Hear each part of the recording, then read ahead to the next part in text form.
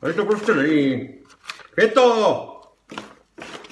Květo, prosím tě, neviděla jsi faktury dvě? A ta plynárna tady taky není, tady to prostě není v té krabici, já jsem to měl v té krabici. Zdar, zdar, všechny vás hrozně moc zdravím, zdravím všechny pošťáky, všechny pošťačky. Já jsem teď doma, protože divadla nehraju, jak všichni víte, jo, dělám si tady pořádek v nějakých věcech, nemůžu prostě vůbec nic najít, jsem naštvaný, ale zároveň si uvědomuju, co byste za to možná vydali, kdybyste mohli být doma a dělat si pořádek v nějakých svých věcech. Já jsem vám chtěl říct, že si vás strašně moc vážím. Stejně tak jako všech doktorů, zdravotníků, všech těch ochranných složek. Vy jste prostě ty, kteří jsou v první linii.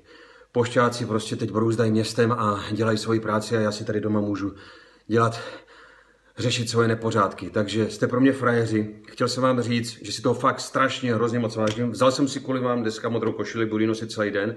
S dětma si budeme hrát, budeme si pouštět tematické písničky, jako třeba Jede, jede poštovský panáček, budeme si projíždět známky. Já jim o vás budu vykládat o tom, co všechno pro nás děláte. Budeme si hrát, bude sranda, budeme si dělat razítka, prostě bude to hrozně zábavný všecko. A všechno to bude jenom o vás a o vás a o vás. Hrozně vám tleskám, jste fakt frajeři, držte se, přeju vám, ať na vás nikdo neprská, jo? ať jsou na vás lidi hodný, empatický, jo? ať se brzy setkáme někde v nějakým lepším prostředí, v nějaký lepší době. Nejlépe v divadle nebo klidně u vás na poště. Nebudu nadávat, že tam bude fronta, hrozně si vás vážím. Držte se, jste frajeři. Dáme to. Čau.